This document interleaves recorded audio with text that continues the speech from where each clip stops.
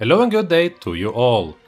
Horror comes in many shapes and forms, and it even pops up in other genres, including TV dramas. I first saw this movie when I was younger, and there are several scenes in it that have stuck with me for over 20 years. So let's explore that together as I am Torstein from Cinema Terror, and this is the 1990 made-for-TV movie Miracle Landing.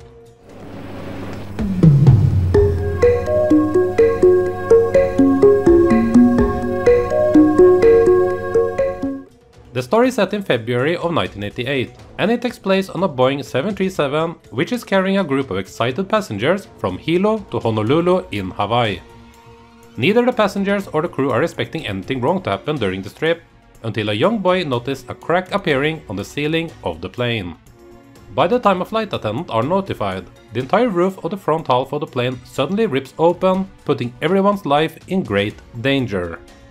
The damage to the plane makes it impossible for the pilots and crew to communicate with each other. The only flight attendant who is not out of action with an injury is the young Michelle Honda. She has to do whatever she can to keep all the passengers safe and as calm as possible, while the two pilots, Robert Schornheimer and Madeline Tompkins, have to focus on trying their best to get the plane to its destination and hopefully be able to perform a miracle landing.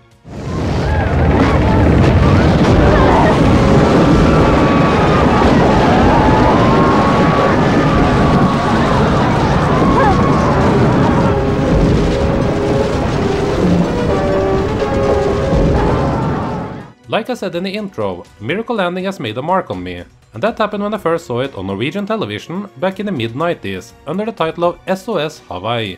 A much better title, as Miracle Landing is a contender for the most spoilery title of all time. Ironically, I watched this only two days before I was going on my very first plane ride, as me and a few family members were flying to Bulgaria for a sweet weekend of sun and fun. Since I was too young to drink alcohol at the time, I spent most of the 4 hours looking for cracks at the wall and ceiling. While everything did go just fine and I had a nice time and got home safely, I do remember being told that exactly a week later, the airplane that flew the same route lost one of its wings when it was landing. Scary stuff, and a good reminder of how much we trust technology and airlines to have everything in order, something that was not the case with the airline in question in Miracle Landing. The premise for this film was based on a true story that actually did take place in 1988, just like in the movie that was only released two years later.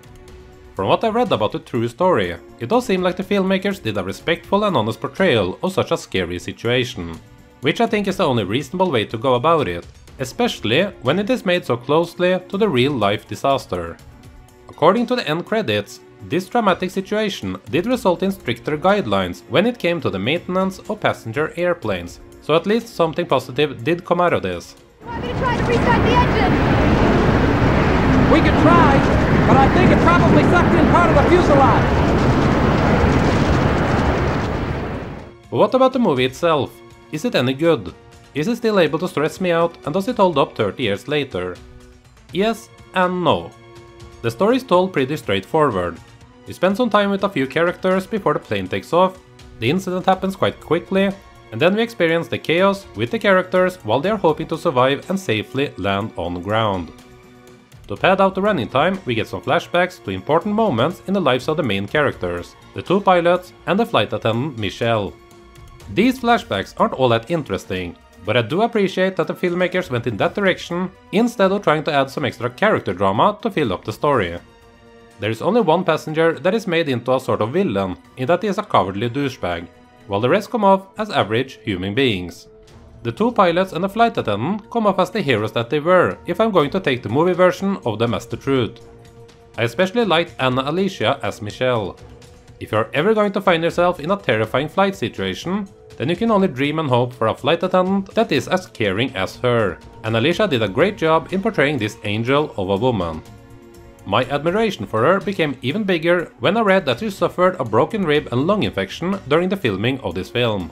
And hey, horror fans might be interested to know that she did have a small part in Halloween too.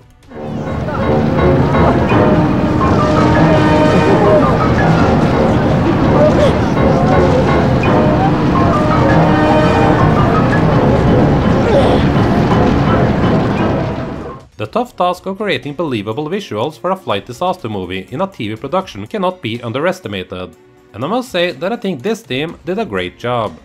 And apparently the Emmys agreed with me, as Miracle Landing won a well-deserved award for outstanding visual effects.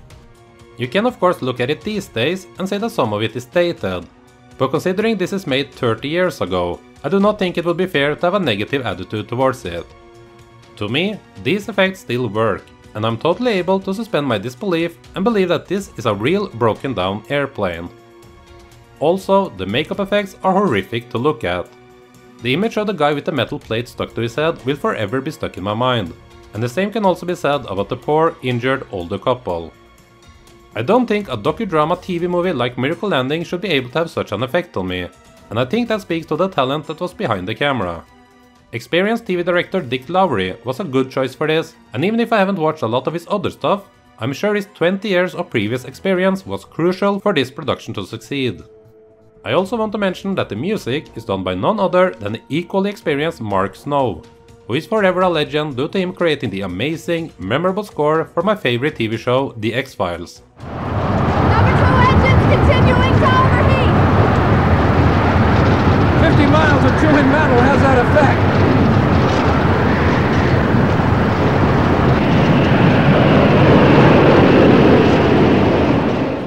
Miracle Landing is basically a tribute to the heroic acts of those who had to endure this terrifying event, and I'm cool with that. They keep things respectable and do not fall into the trap of including extra drama like you would expect from a television production.